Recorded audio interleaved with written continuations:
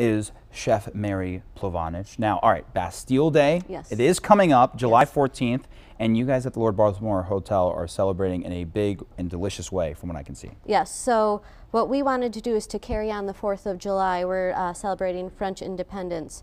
So the French Kis- Kitchen, or restaurant, will do a prix fixe menu. This is actually one of the items we'll be doing. It's a roast chicken for two people that the chef will bring to your table and carve. Mm. Looking at it now, I feel like it's for one. Like I'm Table take side, yeah. that. Well, you can do it for one. Um, and then it'll be served with ratatouille, which everyone knows, and a pommes puree. Okay. Um, Stationed right next to this uh, wonderful cranberry juice that we have here, yeah, as you guys can see, amidst feel. everything else, yes.